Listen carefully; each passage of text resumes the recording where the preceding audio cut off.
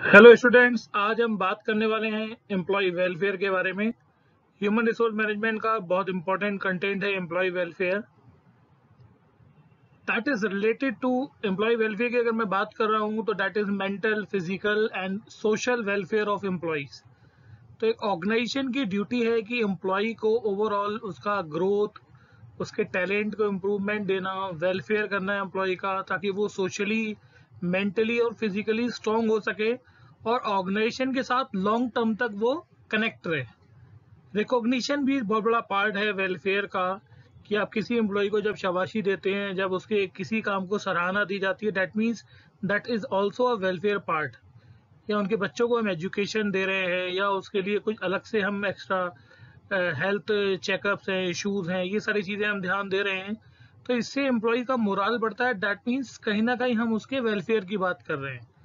तो ये एक रूटीन एक्टिविटी है कंटिन्यूस एक्टिविटी है, जो ऑर्गेनाइजेशन प्लान करता है अपने एम्प्लॉयज़ के लिए।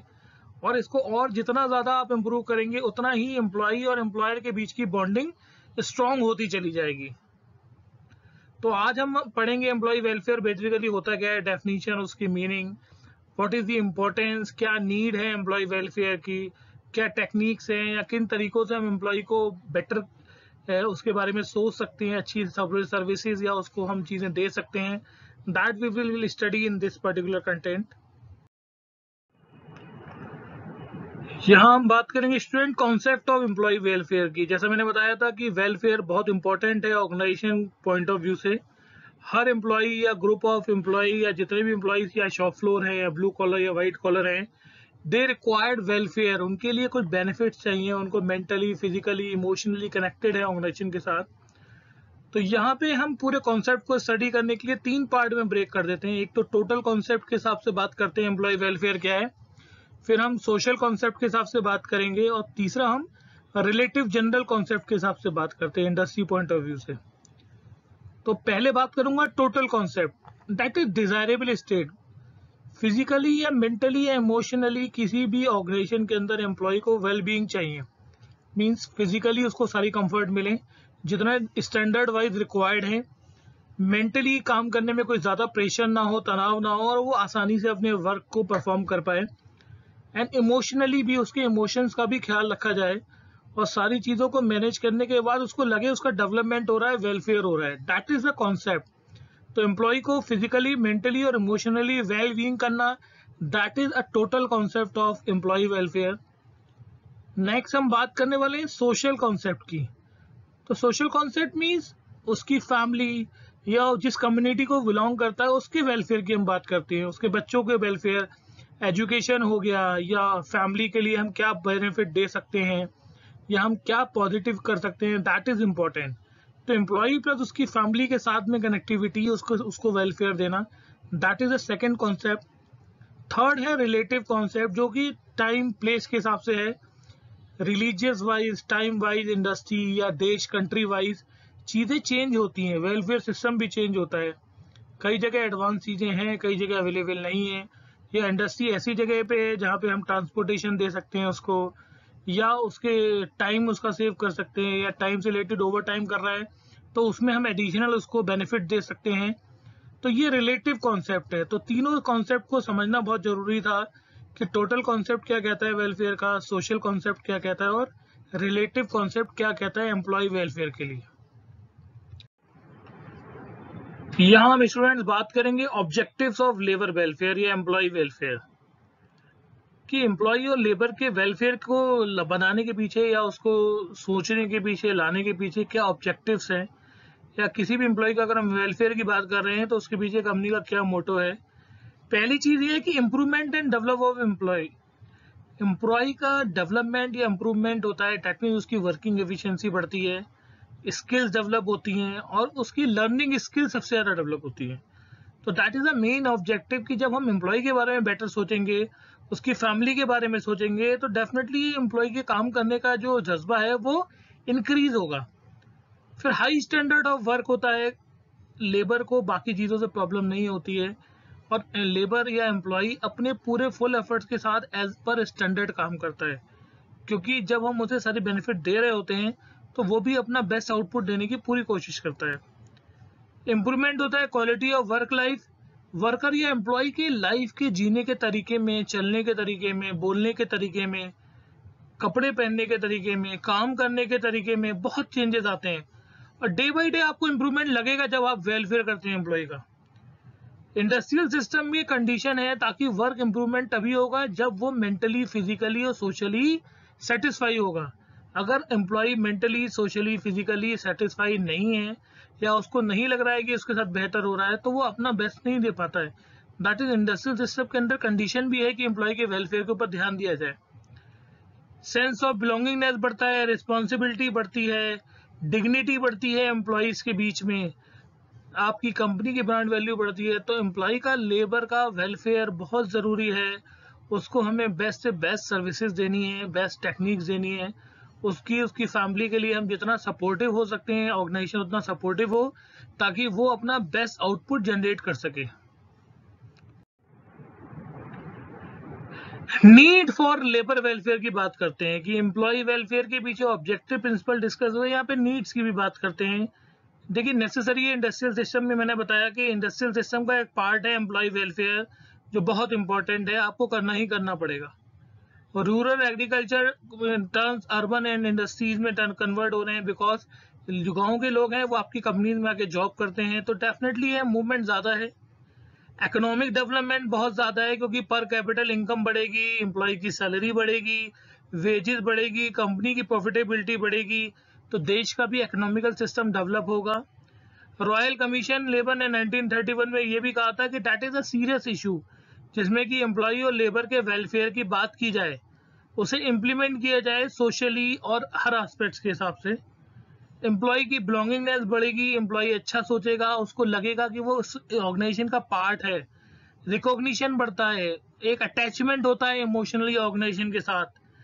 हेल्थी होगा एम्प्लॉय बेस्ट आउटपुट देगा, छुट्टियाँ कम करेगा कॉर्डियल रिलेशनशिप बढ़ेंगे एम्प्लॉय एम्प्लॉय के बीच की बॉन्डिंग स्ट्रांग होगी एम्प्लॉयर एम्प्लॉयर के बीच की बॉन्डिंग स्ट्रांग होगी।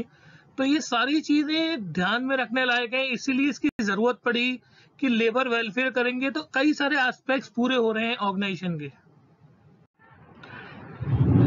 यहाँ प्रिंसिपल की अगर बात करूँ तो वेलफेयर एक्टिविटी से क्या होता है? हर लेवल के लिए होती है ऑर्गेनाइजेशन के लिए। इट इज़ नॉट फॉर की बॉटम लेवल के लिए। वेलफेयर टॉप लेवल पे भी करना है, लेकिन तरीका अलग है। मिडिल लेवल पे करने का तरीका अलग है और बॉटम लेवल पे करने का तरीका डिफरेंट है। तो तीनों लेवल पे वेलफेयर चाहिए, ऐसा नहीं केवल की बॉटम लेवल पे चाहिए।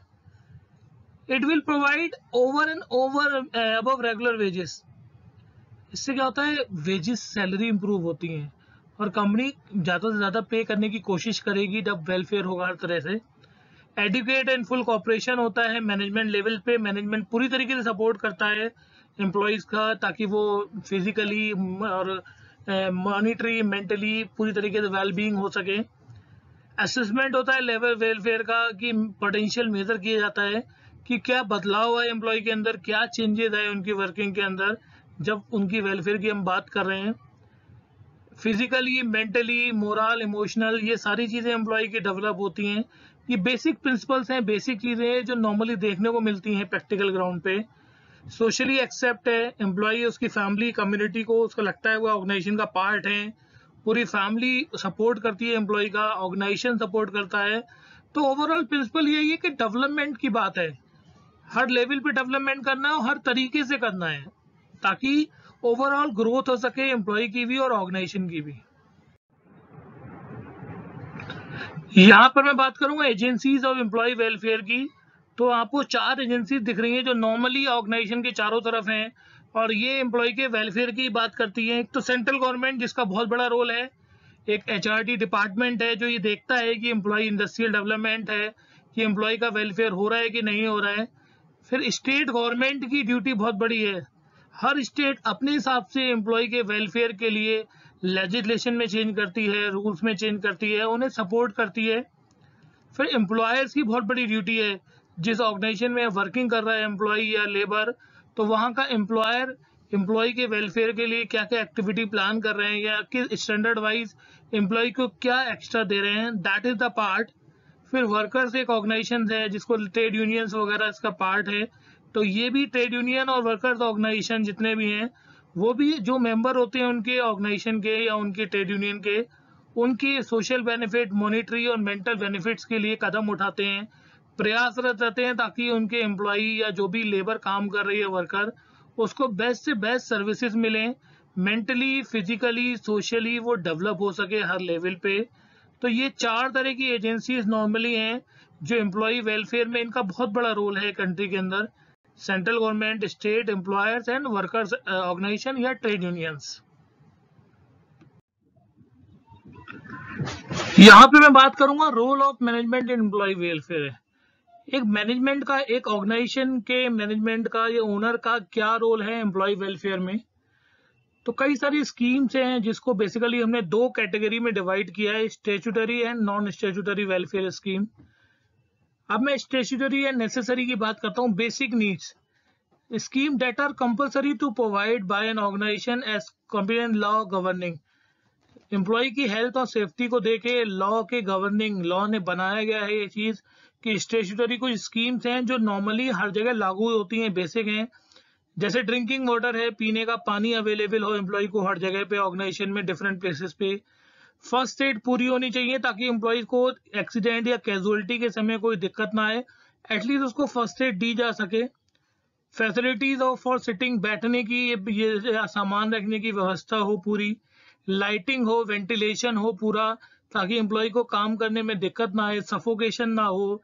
तो ये बेसिक नीड है स्टेचुटरी स्कीम्स हैं जो लॉ के अंदर गवर्न है। और ये एक रोल है मैनेजमेंट का कि इन सबको लागू करना और अवेलेबिलिटी चेक करना।